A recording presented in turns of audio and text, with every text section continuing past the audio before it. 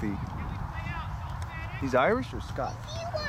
It's watching the game. Weren't they supposed to fight before, but somebody got hurt? But you think it's blue. No, I I think they've been trying to set it up, but they had to agree on Cynthia. terms. It took a while.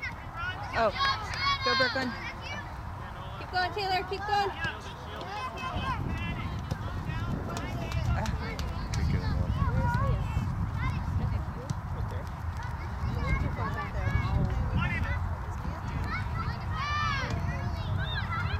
Cynthia es.